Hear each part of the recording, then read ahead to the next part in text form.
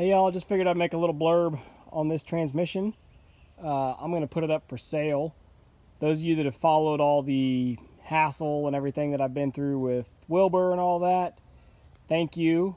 Uh, this is the transmission that was um, bought from the scrapyard out in West Virginia.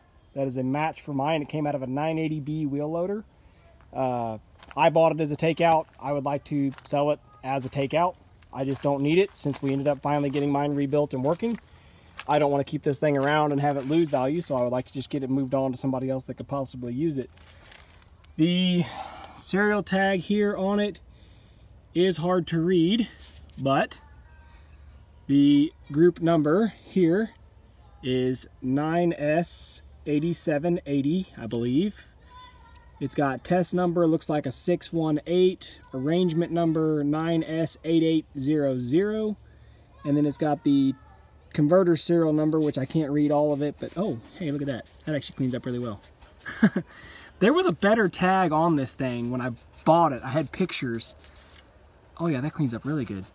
I had pictures when I when we found it in the machine to show that it was perfect, and I remember the tag being a silver clean tag, so I don't know, either they screwed me and they sent me a different transmission or that other tag that we found got ripped off in transit. But anyway, so yeah, let's go over that again. Uh, transmission group number 9S8780, test number 618, arrangement number 9S8800, converter serial is 33T1422. So again, this was out of a 980B wheel loader. I know it also fits in, obviously, my old DJB haul truck. I don't know if it would fit or go into the early model um, Caterpillar haul trucks or not, but this is the transmission with the gearbox, the drop box on the back, which gives your forward and rear drive shafts coming off of it.